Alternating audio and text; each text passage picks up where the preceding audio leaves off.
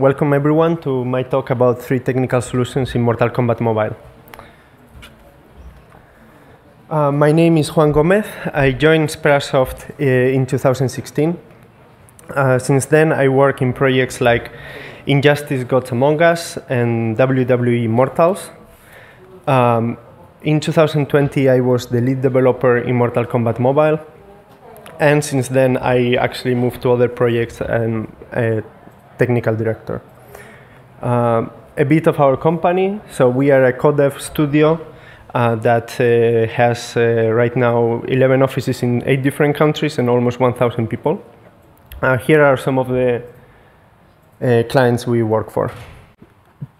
Uh, regarding Mortal Kombat Mobile, so also known as MKM, so it's a game that was released in 2015 for iOS and Android, and Sperasoft participated in the development of it. Uh, the game was quite uh, popular and even to this day is still receiving regular updates. Um, in terms of technology, it was originally developed in Unreal Engine 3 and uh, um, uh, since then imported to Unreal Engine 4. Uh, in particular, 4.19 is the version that uh, we had the longest. But before we start, let's get to know a little bit about each other. So uh, how many of you, actually, if you could raise your hand, know about Mortal Kombat? I guess, yeah, a lot. Uh, what about, uh, in particular, Mortal Kombat Mobile? All right, some, all right. Uh, how many of you programmers? Okay, most of you. And what about Unreal Engine? People working on Unreal Engine? All right, awesome. Yeah, thanks. Uh, so yeah, um, I hope that this overlap will be good and you will get uh, uh, something interesting from it. So basically, we will be talking about three different things. Uh, so we have um, different challenges in different areas that you know we want to stare a little bit about, and for each of them, we are going to show you the problem that we have. Uh, what is the initial state that we were like, uh, like with the data, right? Uh, what tools we used to gather this data and to come up with the solutions, and solutions that we came up and the final state. Uh, so basically, um, there won't be like super advanced topics here, but obviously you need to know the basics to follow. Also, uh, the, the purpose of this talk is not just to tell you, okay, so we did this. Um, it's also for you, for us to tell you like why we did it, how we did it, uh, which tools we used. So hopefully this can help you and you can take the experience to your projects. All right, so let's talk about the first uh, point, which is UI optimization. Uh, so basically, uh, UI game, like uh, mobile games, they are quite, um, um, they have a lot of user interface, a lot of menus, animations, they're heavy. Uh, we have a lot of devices that are low end. Um, and uh, for example, we were supporting iPhone 6 and, and, and, Android 5 devices, which are considerably slower than what we have nowadays. So um, if we take a look at the first example here, uh, this is uh, the collection menu. Uh, so we have uh, around 20 cards on the screen. Uh, each of those cards uh, contains like a lot of children, like 50 widgets each. And so there is a lot of, a lot of um, we can see here a video uh, where we have the profiler. I, I don't trust you will be able to see those numbers, but uh, I will will show the data later. Basically, we're lowering, we, we can see here the performance, right? So we were, uh, there's the beginning of the optimization, we are talking about uh, around uh, 20 FPS, so we have two, um, two uh, numbers we care about. So one is the idle tick and another is the scrolling tick. So the idle tick is when nothing is moving on the screen, and that's okay. But I mean, the player doesn't care about it. Um, the player cares about the responsiveness while they are interacting with the with the menu. So um, we need to improve it. Um, and so we begin. So the first thing we want to do uh, is talk a little bit about the tools we have. Uh, so basically, if you want to debug or like profile uh, UI in, uni in in Unreal, you want to use stat slate, so it will show you interesting things like what's the total tick time, uh, what's the like rendering tick time, uh, what is the like amount of widgets you have on the screen, how many uh, draw calls you're doing, and so on.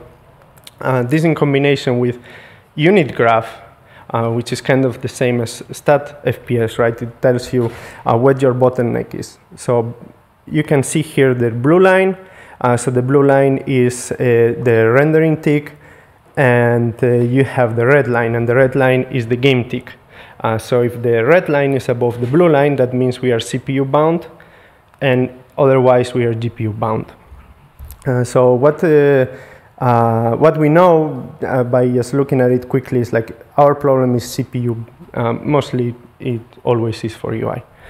Uh, so the first thing you want to do when you want to tackle like how we can improve the performance in this menu is probably looking at what already tools exist, right? So we, uh, uh, at, at, this time recently, and Unreal introduced Invalidation Box. So in case you don't know what is this, uh, basically, um, it takes all the widgets that are on the on the particular element in the UI and transform it into a texture which will be later cast. So I mean, everything needs to be translated into a texture eventually, but this is saving it for future frames. So if nothing is changing here, we already have it everything prepared. Um, and uh, so using it is pretty simple. So basically, you just uh, you know put it in the hierarchy. Uh, as long as it's enabled, mean can cache, it will cache everything which is under it. Um, and uh, for example, we have this element under the invalidation box. Um, you can uh, mark it as is volatile, so the invalidation box will actually ignore it. Uh, in case you have something that is going to change every frame, but um, you, you don't want to move it outside of the hierarchy to a different place, you can keep it there if you turn it on. Um, I can tell a bit more about some other optimizations that are going on here already in this place. So basically, at the very bottom, uh, you can see something called energy bar slot. Uh, so that, that's another thing we're doing basically. Uh, we try to reduce as much as we can from the card um, and from all some other widgets and only add it on runtime if we need it, right? Uh, which helps uh, with a lot of things. Um, and uh, yeah, the energy bar in particular, it's, it's a big, uh, um, it was giving us a lot of performance issues, I will explain it later. So why we want to use invalidation box, we can talk a little bit about how you know, uh, Unreal processes the, the frame. Uh, so basically we have like a game thread and the game thread is gonna do, you know, the regular update on the world, like things like physics, things like a game logic, right? And then we have the UI uh, part of the tick. And the UI is doing two things. So it's called the pre-pass and it's doing the on-paint. And I will explain later what this mean actually. Uh, but for us, in terms of invalidation box, what this means is like we we don't, uh, um, we, we will uh, save all these calculations. Next frame, we won't need to, to do them again. And of course, later, this information is going to be used in the render thread. You know, we run in the stream, but we also need to draw the, the slate. And uh, yeah, the texture from the invalidation box will be used in this process. Okay, uh, so here we have a video um, of how it looks after uh, the but uh, it's not playing.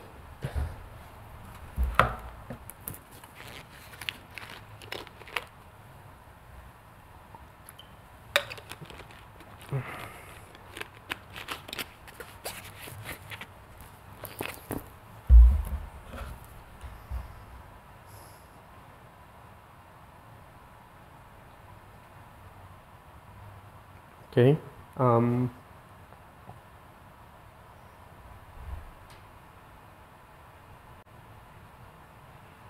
Thank you. Uh, so uh, we uh, we see some in performance improvement. Um, the numbers probably you can't see, but maybe later when there will be a video, it will be a bit crispier. Um, uh, but uh, again, uh, the data is is here, so we have a considerable improvement in our benchmark, and we are right now on 30 FPS. Uh, so I recommend to use um, this uh, feature if you didn't know. I'm sure Unreal Engine 5 it's much more stable and, and um, definitely helpful. So uh, after we use like what uh, the engine provides, we need to start uh, looking into how we can improve our code. Uh, so I'm talking here in particular about Unreal, uh, sorry, about Visual Studio. Um, and the Visual Studio is quite simple to use for profiling if you never used it. Uh, so basically, when you are debugging, you need to enable it by pressing this button. once it's enabled, you can start recording. And uh, once uh, you pause uh, the, the profiling, you can inspect the results of what you analyzed. So it looks like this. You have on the top the um, kind of call stack with time, how much uh, uh, you know we take in for a particular uh, function, and here in the code you can navigate it. It's very helpful and convenient, and it's kind of reason why I'm talking about it because Unreal has really good tools, right? It, uh, Unreal Insights and so on that you can use, but uh, Visual Studio for a programmer is it's just in some cases more convenient. And also you can actually take the experience and use this in other game engines. So um, in terms of what we want to optimize in the code, usually you want to always start with like regular culprits. Um, so that's like the init method and the tick method, things that, you know, they run often and uh, you can really polish and, and make uh, very fast. So uh, here we have a particular problem that we found. It has to do with um, with uh, something kind of silly because uh, we were trying to access some information on init uh, from the player profile, but we were saving the player profile afterwards, even though we were not changing anything. So that's something we identified with this. Obviously, changing it is, is not a it's not a problem at all, but um, so it's, it was super important for us from another uh, optimization that existed. So in that menu, we use recycling scrolling list. Uh, if you never heard about it, basically it's a, um, you have a, a, list of elements, and instead of having creation and destruction runtime or having like a um, um, like all of them loaded at once, you have uh, the, the virtual pool that it's all the time recycling elements. So one element goes out of the screen from one side, so it's going and it's going to the other side, it's being recycled with the new data and, and so on. Uh, so that means we are initializing our, our elements all the time as we scroll, right? And uh, yeah, uh, if you want to know a bit in nutshell how this uh, code will look like for the scrolling list, so basically whenever the user scrolls, uh, we we calculate what's our new like first line or like point of reference. Uh, we calculate how much we have moved. Uh, it's possible that we move uh, more than like one uh, line per um, per um, per frame if like we have very low FPS. Uh, and so we just remove it from one side, add it to the other, and initialize the data. So the fix for this, uh, as you can see, um, makes that this call over here uh, is not even appearing in the profiler. So it means like it's it's fast, very fast now. Um, and uh, in the terms of uh, the result, so we can play the video, please.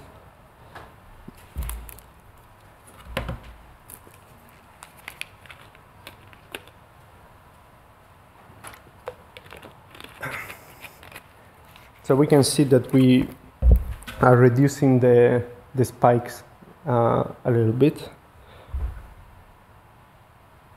All right.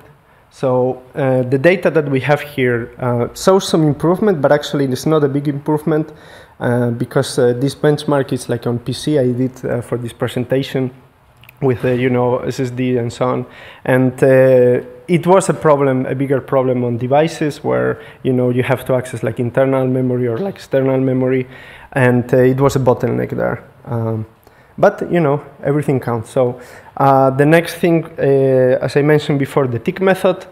So we want to initialize the tick. Uh, we want to um, optimize the tick method. You just need to go there and you know find it. Okay, so here we have uh, this call, here we have this call, right? So how can we optimize it? Like for example, we have a um, get energy method, which has to do with the energy bar I mentioned, right? So basically we are, uh, in order to calculate the energy of the particular card, we, we do it, it's, it's for some reason consuming, time consuming, but it doesn't need to be because we don't even update this so often. The energy is regenerating like super slowly. It takes like I don't know 10 minutes. So uh, it was even being calculated for cases where the energy was already full. So there wasn't really nothing to to update or calculate there. Um, so yeah, it, this may be anecdotic, uh, but um, I hope you can like apply to to your particular projects.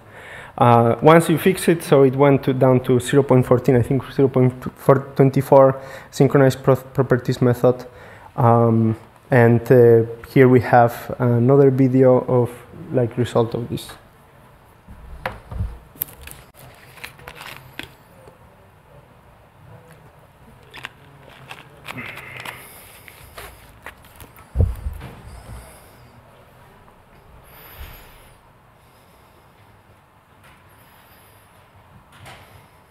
Okay, uh, so actually now what you want to do next, um, because you may have noticed we, we optimize our code. It wasn't really terribly unoptimized, right? Um, and we gain quite some, some profit, uh, but we still uh, not even uh, uh, close to our goals, let's say 50 FPS, or sorry, 60 FPS. Um, and uh, there are more and more things I'm not going to mention. Like for example, we uh, we optimize localization. So usually when you get in like a localized string, it's kind of slow. So if you can cache it, it, it saves a lot of time. Uh, you can uh, move a blueprint code to C++. This is another thing we did. So we don't have more blueprint code in this particular menu. In some cases, like 10 times faster. Uh, we also uh, rework widgets, so the less widgets you have, the better. Uh, we had uh, some, like, let's say, reduced using masks or like tricks. You can like down go, let's say, something that was previously 10, 10 widgets separated because the artist just made it like this. You can trim it to, the, say, one widget only. Uh, and uh, but anyway, um, how can we continue from here? Uh, so we actually have a tick uh, from the slate itself, right? It's very time consuming. Uh, and it's much time, much more time consuming than anything we optimize so far, because we're just optimizing the small things in our code. And you can actually go and profile the engine, see what is going on, maybe there is a problem in the engine or maybe there is no. Maybe you are using things in some wrong way or you can figure out better ways how to use your uh, the engine uh, to do things faster. So we start going deeper, right? So we have a tick here and we see, okay, we are drawing and doing the pre-pass. So that's the things I mentioned before. So it's taking quite a lot of time. If we go deeper, uh, we see that we are calculating uh, layout size for text, which is taking a lot of time. And surprisingly, it has to do with the cache. So we have a text layout cache, uh, and we are calculating text uh, size for it. Uh, and uh, even though nothing changed, and it's supposed to be a cache. Um, so what's going on? Um, if you, we look at the um, uh, profiler here, we can see that it's showing that we are doing 384 text layout calls per frame, when nothing is moving, even though we don't have so many text in the in the game. Uh, I mean, on the screen at this moment. So something is definitely going wrong, and uh, we investigated what was the issue and actually found out that it has to do with scale boxes. Uh, so basically, this is kind of a real issue uh, where you have a text, uh, and this text is under scale box. You know, in this case, so the text doesn't go out of the card. Uh, and there is another scale box up in the hierarchy, right? Uh, they both will mess up with the cache uh, of the texts. Uh, and uh, so, yeah, to, to go a bit in depth, depth with this, basically when we start with the tick, we're doing first the pre-pass. And the pre-pass basically it's, it's going through all the elements in the, in the UI, in the hierarchy. It goes from the child to the parent, and later we will paint them. We paint them from parent to child. Okay, uh, but when we're doing this iteration and we're going through the children up in the hierarchy, right? We do the text and we cast, you know, we cast the size or any other things we need. Later, there is a scale box. Okay, but the scale box is affecting all the children. So now we need to do another pre-pass and like recalculate everything. Uh, and that's okay when there is only one, but if we have another um, uh, scale box in the hierarchy, now we are going to override the cache. So the cache is being overridden per frame multiple times, and uh, it's uh, it's unique, so it basically becomes useless.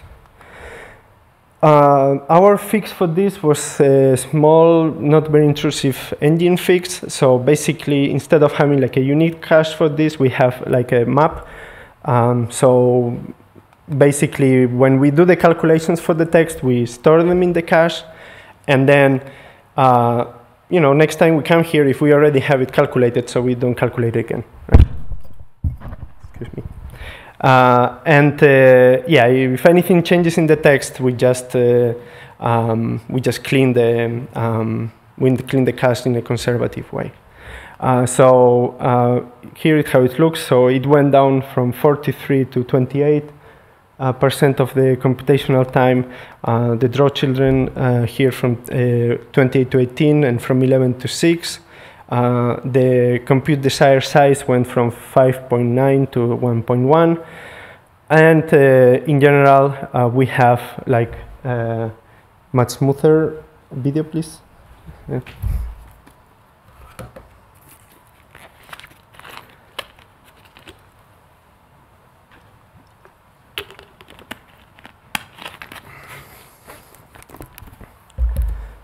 And you can maybe even notice here at the bottom, this is the uh, unit graph. It's, it doesn't have spikes that you used to have. So uh, in terms of performance, a big gain. Uh, we almost reached 60 FPS this time. Um, so that's, that's great. Uh, however, uh, we already did the recommended, use the recommended features of the engine. We already optimized our code and we even optimized engine code uh, and uh, we, we want to go further. So uh, we know we're not actually bound by CPU anymore. And I already talked for quite a lot of time, so maybe someone can help me and tell me if it's not CPU or GPU, what, what can be our bottleneck now?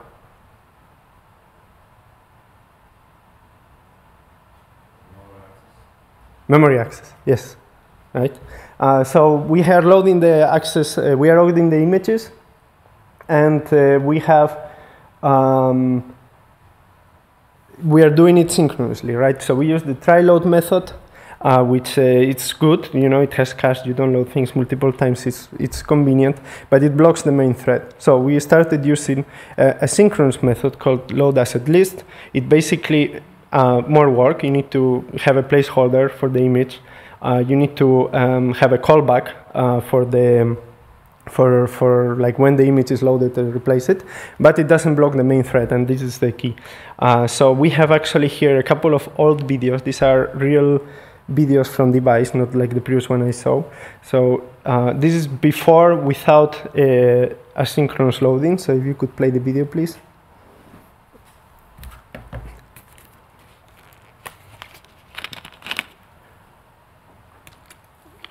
So you can see the terrible frame rate there, the spikes. It, it's only the first time you go through the collection, right? Once the cards are loaded, it's okay.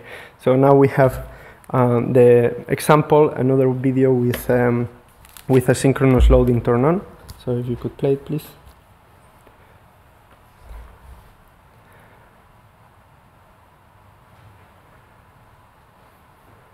All right. Uh, so as you can see, uh, this is kind of like a stream case because the cards are taking a long time to load, but you know, this, the scrolling is super smooth. And uh, we have here the last video where we saw uh, in our benchmark the, the final result with all the optimizations in place. Uh, yeah. Thank you. Uh, so you, I hope you can see the difference already. Uh, in, even though with this projector. Uh, in PC, the images load anyway instantly. Just at the end, you can barely see the placeholders. Um, so this is how, how, how it looks right now. So we made it uh, to, to 60 FPS. Uh, and um, just uh, as a quick note uh, to point out that we, we started with basically uh, 14 FPS as an idle tick, uh, uh, sorry, 14 milliseconds, and now we have 14 milliseconds for the scrolling tick. So this just shows how much uh, of the processing was being uh, wasted. Um, so we continue to the next part. So that was the longest, and I I did it much quicker than I was expecting. So I hope we will have some time for questions. Uh, we go to the next part. Uh, it's a bit connected, but uh, you know, uh, random crashes, not really on a, type of optimization, uh, but rather, let's say, optimization of our crash rate, right? So our crash rate was around, like our cr crash-free rate, rate was around 95%. So that means that we having like a 5% sessions which may end up in a crash. Uh, so we want to reduce it by half at least.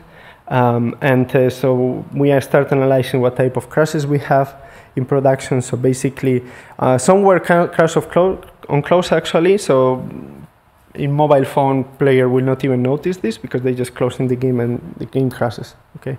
Um, others are related to low-end devices. So for example, we have um, you know, lack of memory. This will be in the last part of the presentation.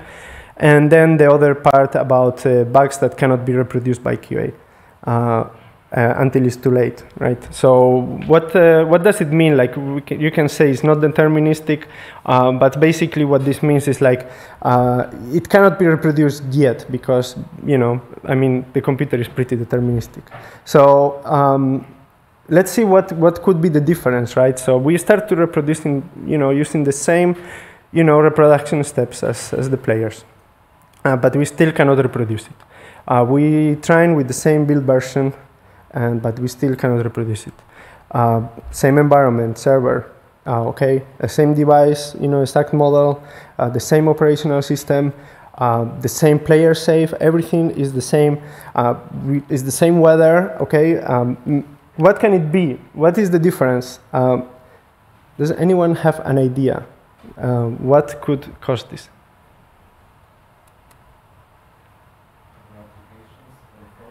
Other applications on the phone. Yes, it's a good hint. Uh, so uh, other applications in the, in the phone per se will not usually interact or affect your, your program, but they're consuming the same memory, right? yeah. Uh, there, there are some, some such cases, but not, we're not going to discuss them here. Uh, so basically, um, um, it, it has to do with the garbage collector. So basically, uh, the garbage collector is called randomly, um, and you can call it manually if you want uh, using this function. Uh, but uh, generally, it and it may be called more often if you know a lot of applications are running on the phone. Um, so, how the garbage collector works in a nutshell? Uh, we have a set of U objects in in, in Unreal, right? Uh, and we delete one of them. Uh, then the garbage collector comes and it checks every object in in the in the game and it sees if you can find the reference to the root set for this object. If you cannot, like in the case of these childs of this object, they are garbage collected. Okay, um, and this one uh, object is not going to be garbage collected because it, you can find a different uh, connection to the root set from here, and that's because of this reference that we have here. But the very important thing to understand about the garbage collected in, in, in Unreal is that this is only going to work if this reference here is a U property. Uh, if, if this is not a U property, uh, you can say this object bye-bye because the garbage collector is going to take it. And later you're going to try to access it and random things going to be there. Uh, so these are the things we were fixing. Uh, in order to, to fix them, uh, uh fixing them is, is, trivial, right? The problem is actually finding them.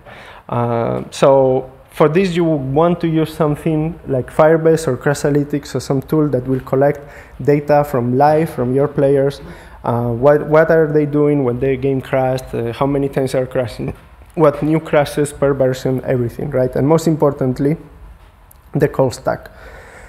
So if we have a call stack, we can try to fix it, right? So for example, here is an example of one bug, right? Uh, there is an, a, um, call to some uh, function that ends in the crash, right? Apply talents in this case.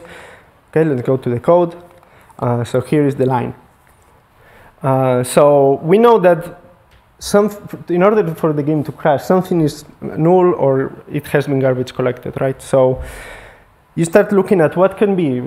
So there are some table here that we accessing. Maybe this is it. Uh, maybe this talent item server data is. Uh, you just need to go each one by one, uh, analyzing uh, could that be null or garbage collected.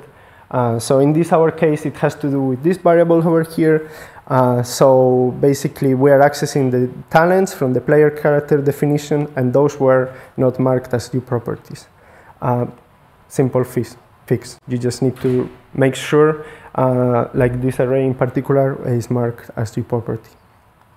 Uh, for a similar, very similar example, another one, uh, get total health um, in this particular line, um, we're getting a crash. So we have uh,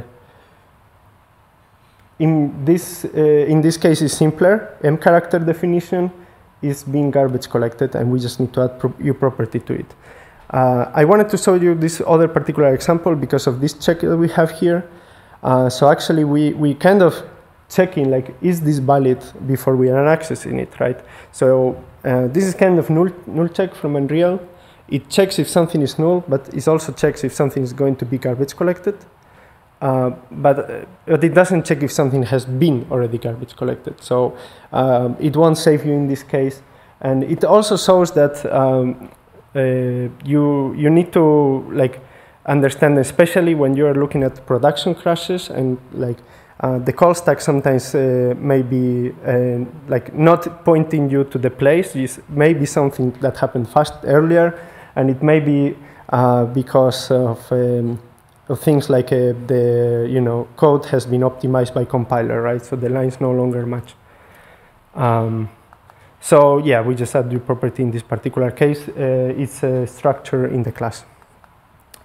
Okay, another one, this time related to lambdas. So basically we have um, the uh, two events, right? On player profile ready, uh, and we have on player profile login finished. And for these two events, we are subscribing a Lambda. Uh, and uh, what we found out is that uh, some of these elements that we expected to have to be there, uh, they've been garbage collected. In particular, this this handle that is we we were accessing, and uh, the solution at the time uh, it was something like we just you know uh, we don't use the lambdas in this particular case. Uh, we we just use uh, um, you know regular uh, methods, and this this solved the problem. But actually, I was investigating what happened here and why was this happening, and I found two things. one is that Unreal has now a new way to add lambdas into the into the event uh, instead of add lambda is add weak, weak lambda and uh, it, it takes into consideration that something may be garbage collected and uh, you know checks before calling something so you, you, at least don't get a crash. Um, I also found that uh, this bug in particular is I was not able to reproduce it in last Unreal Engine version so it could have been at the time like an Unreal Engine bug where we, like garbage collector was not taking this into consideration properly because the events are, are not U properties and actually you can't mark them as U properties. So the garbage collector needs to consider it like in a different way. Okay, so the final state, we reach a crash-free rate of 98%. Uh, we reduce crash uh, per user around 50%, which is a little bit different metric because you know, more, uh, some players may have more crashes by average than others. We also reduce app not responding um, events by 90%, uh, which was uh, great, but not really um, discussed here right now, very in, important metric. Uh, and what we have left actually to continue working, uh, mostly related to SDKs and Unreal Engine. Uh, you know, they have bugs and that's why you want to you know, keep them up to date if possible. Uh, something that we had trouble with because we basically, um, like, when you start modifying the engine, it becomes harder and harder to update. And uh, yeah, obviously bugs that were introduced by us in the latest update, uh, which we um, uh, always need to you know continue fixing uh, and that's why it's important that you have such a reporting tool that will tell you that you introduce a new bug. All right uh, so we go into the last part of the presentation. So this is about RAM, RAM optimization uh, it has to do with the first and the second part because the you know we, it's an optimization and, and it's solving the problem that you will, if you run out of memory the game is going to be closed by, by the operational system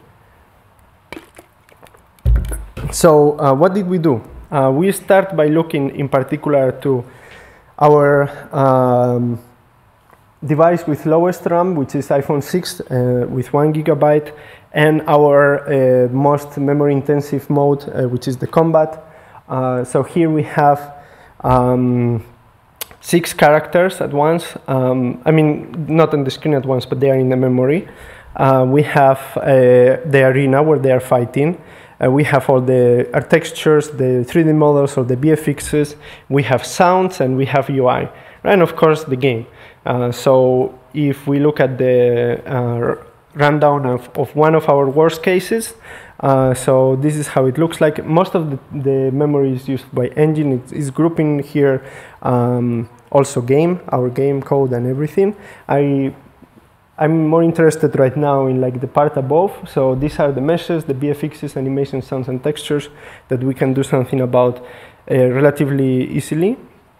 Uh, so basically, if, in order to do this, uh, you need something like a stat memory. Uh, so this is the easiest command you can run on your on your game to profile what the memory is being used for. So basically, we have a uh, texture, uh, how much memory is used for textures or UI textures or character textures and so on.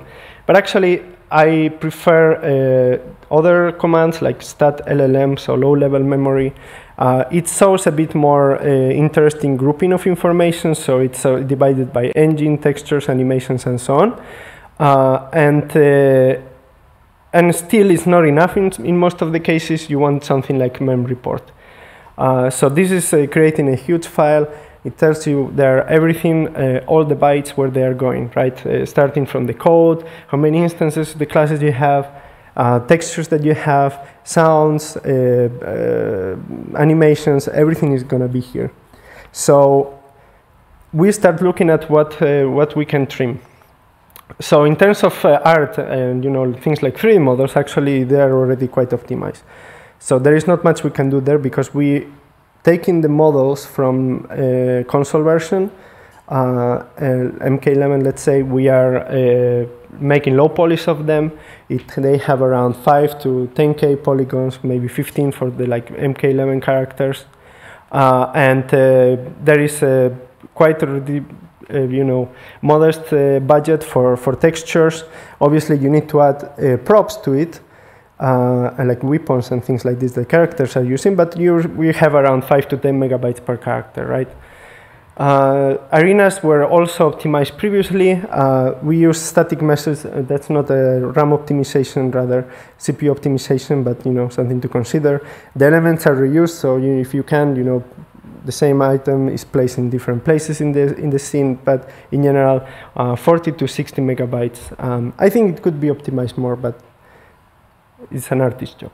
Um, in terms of VFX, uh, they were one of the first things we work on to optimize because um, they affect uh, CPU, uh, uh GPU, memory, everything. So uh, we have a limit on the textures, although some textures may be bigger.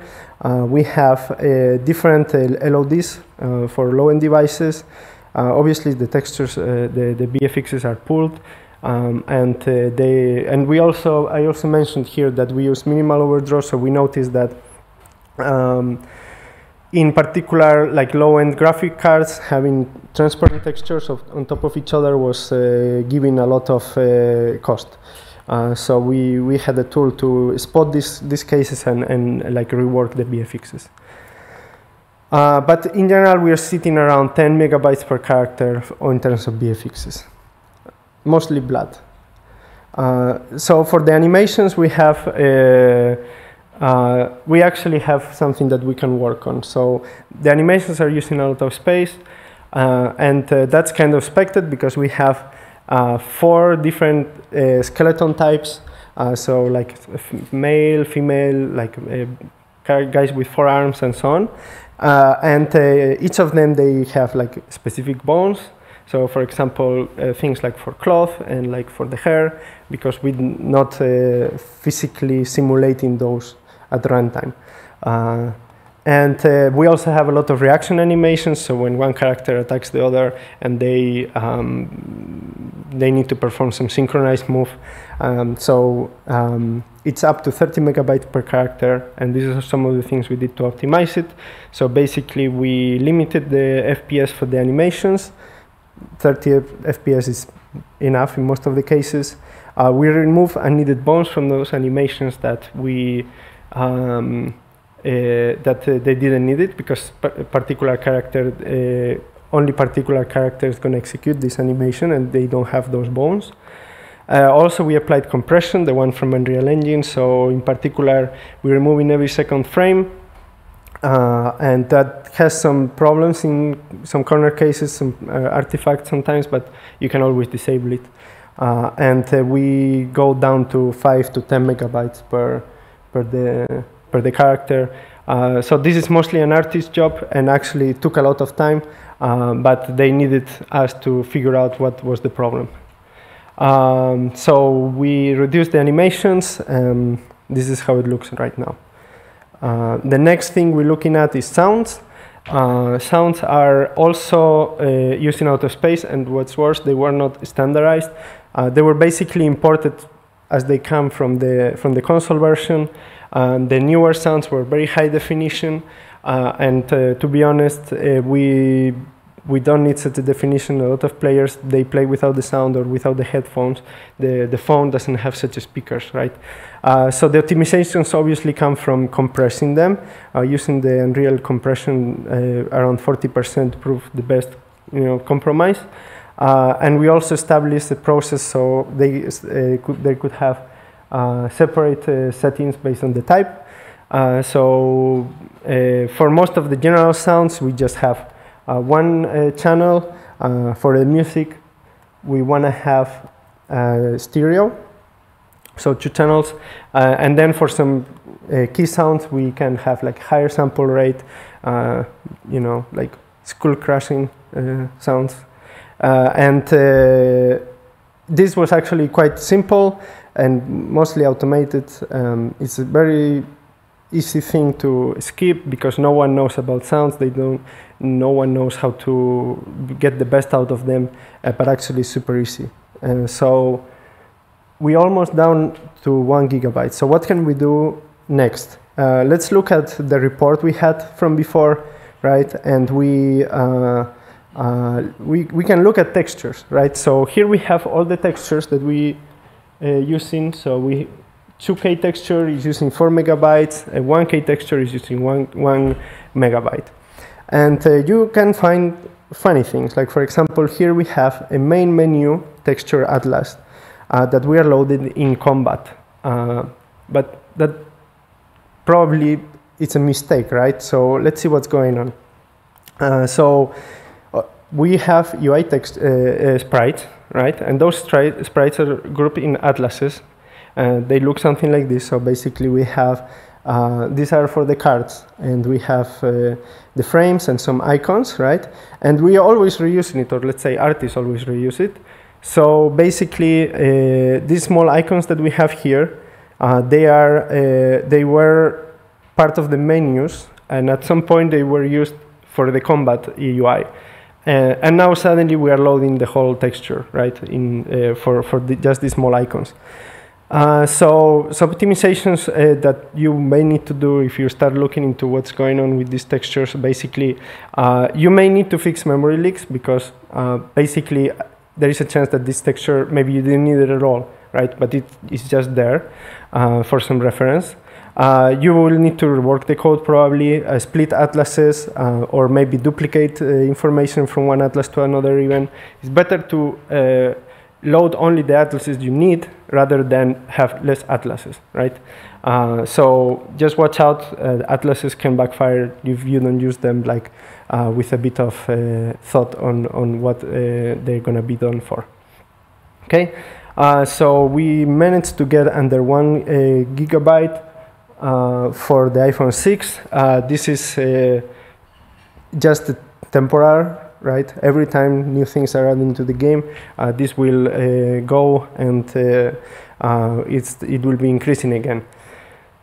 Something that we could do next actually is uh, investigate what's going on with the engine. Why is it using so much memory, right? Um, I did take a look and actually, like the, the in terms of our game code, right? Um, we don't have a lot of algorithmic uh, calculations that will take memory. We don't have like pathfinding. Uh, our AI is quite simple and it doesn't use memory. So uh, probably something for another talk. Um, and in general, uh, that's everything. So we have, I think, 10 minutes for questions. Uh, just a reminder that you can apply if you want to Sperasoft, and here are some links. Thank you.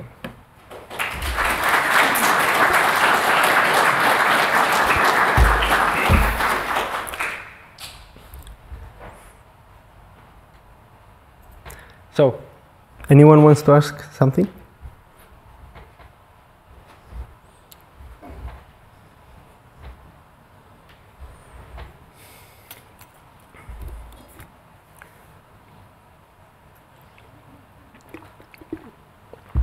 Maybe uh, the question about the, the, the, the recent um, uh, example, you have shown the atlases, and I wonder, did you try to uh, explore idea of uh, optimizing atlases themselves? Because it seemed those cards had a lot of empty space inside. Mhm. They are wasting a lot of memory. Mhm. You can slice them, right? Mhm. Like in a nine-patch way. Did you try this, or Yeah. uh, did you Um, have uh, like good uh, enough solution with uh, just you optimizing the other side? Yeah, so um, I think nine slice is something that uh, probably uh, Unreal provides. Uh, so if we go back here, uh, you may notice that actually uh, there are uh, like the way artists did them. They they not uh, really tileable. Uh, they could be. I agree. Um, it's something that uh, um, that it's it's just. Um, kind of coaching process for artists explain them like hey you can do this and this is how you do it right and this is how it's going to do look good we can do tools for you but um, for many many cases they will just uh, first they will do it like this right? Uh, so um, in, a, in either in either way you will need to later come and you know uh, in optimize it either by nine slicing it or by dividing it into different uh, atlases. So yeah definitely um, good optimization. So yeah thanks for pointing. All right? More questions? Over there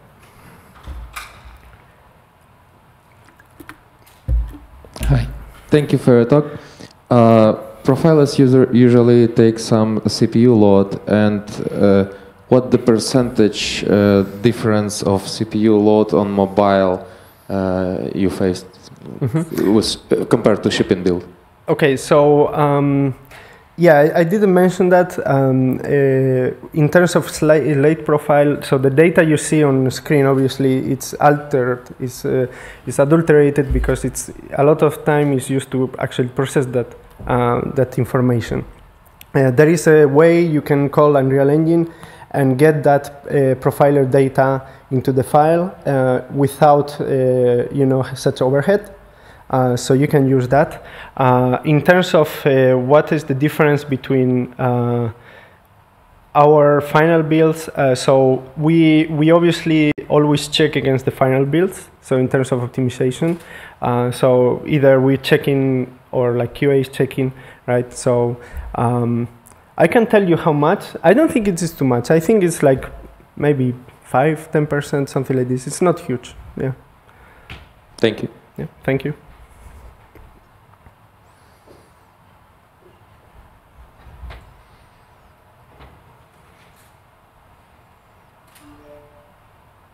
Any more?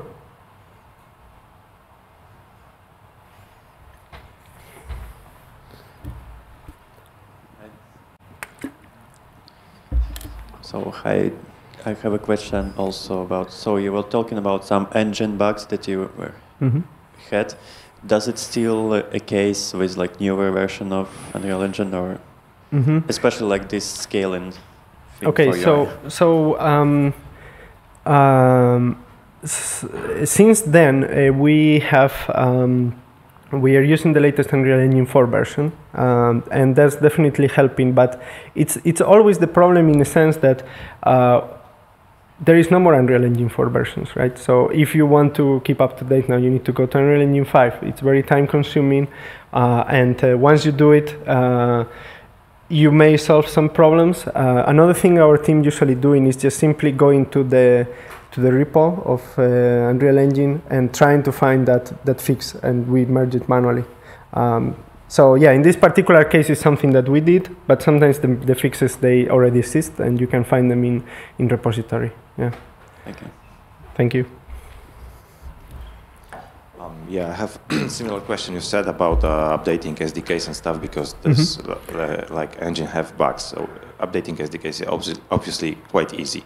Mhm. But uh, in case like that, that you find a bug, do you always need to go like through um, upstream, check it, and then merge it back? It's probably a lot of work. Do you or do you consider like updating engine in the process, or is it too risky? It's, so you need always to find a specific solution, cherry pick it on your uh, code, and Yeah, just- so uh, this is kind of like a, a so vicious cycle, cycle, right? Because the more you uh, cherry pick, the harder it becomes to actually later update because you have uh, you start accumulated modifications, right? So uh, you you're trapped uh, at some point, and it just becomes impossible really to to update the engine.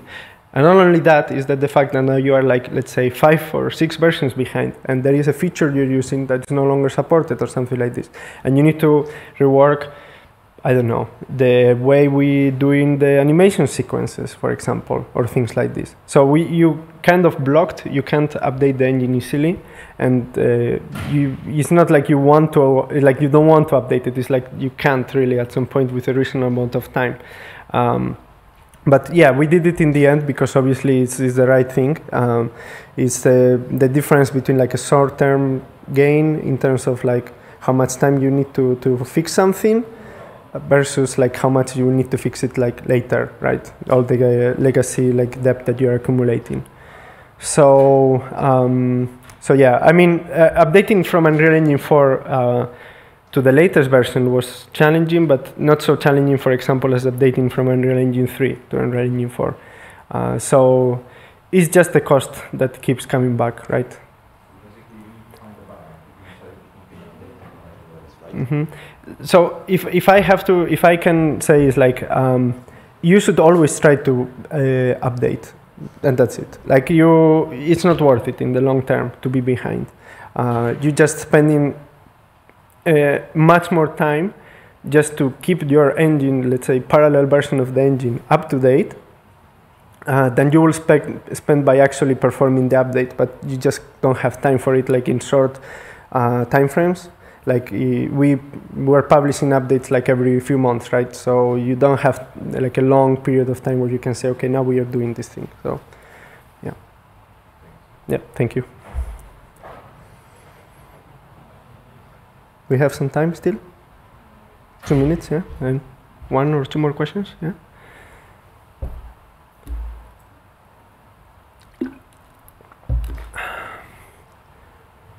Well, if you need anything, I will be in Sperasoft booth. Uh, come and see us, and we can talk more. Yeah. Thank you very much, everyone.